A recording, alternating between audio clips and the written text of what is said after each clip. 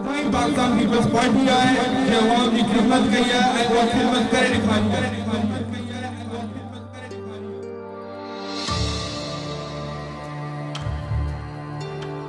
Pakistan peoples party की क्यादत आहे जे हमेशा अवाम जो साथ नाहे छॾियो वो चाहे केतिरा बि ज़ालिम साम्हूं हुजनि, वो चाहे केतिरियूं बि साज़िशूं करनि पर अलाह जो शुक्र आहे पाकिस्तान पीपल्स पार्टी हमेशा सुखरी थी आहे इंशाल्लाह, हमेशा सुखरी